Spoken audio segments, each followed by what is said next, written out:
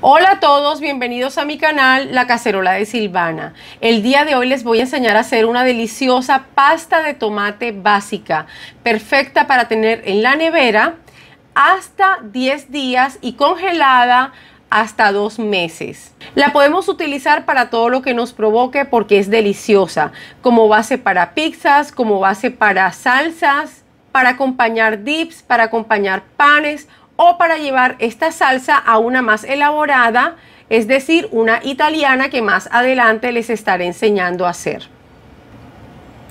Por favor, suscríbanse a este canal, activen la campanita de notificaciones para que les lleguen avisos siempre que suba videos. Dejen sus deditos arriba, sus comentarios y, y vamos a comenzar de una vez. Los ingredientes para hacer 400 mililitros son 5 tomates rojos, 3 cucharadas de aceite de oliva, 2 cucharadas de azúcar o el endulzante que ustedes prefieran. También pueden hacerla sin azúcar y una cucharadita de sal.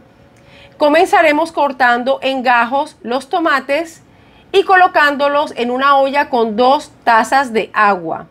Tapamos la olla y dejamos que se cocinen de 15 a 20 minutos. En este momento, como pueden observar, ya los tomates están listos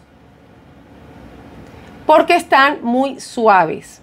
Lo que haremos ahora será procesar o licuar los tomates en el agua en el que los cocinamos.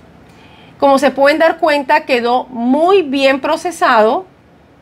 No se le ve ni la piel ni la semilla.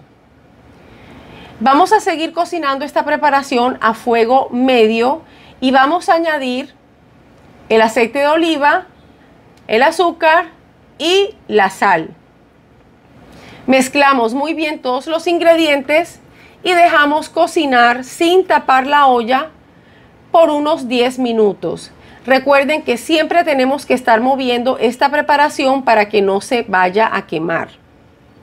En este momento han pasado unos 20 minutos y ya se ha reducido bastante los líquidos y como se pueden dar cuenta, las burbujas son más grandes. Y la salsa, al moverla, ya la pueden ver que es más espesa.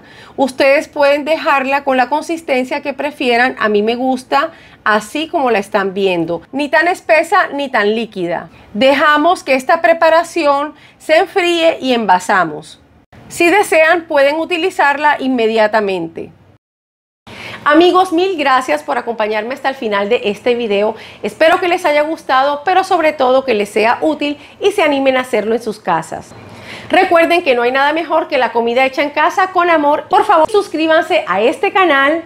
Dejen sus deditos arriba, sus comentarios, activen la campanita de notificaciones para que les lleguen avisos siempre que suba videos y compártanlo con sus amigos y familiares para que me ayuden a crecer y cada día seamos más. Les envío un fuerte abrazo, mil bendiciones, muchos besitos y nos vemos en el próximo video. Bye.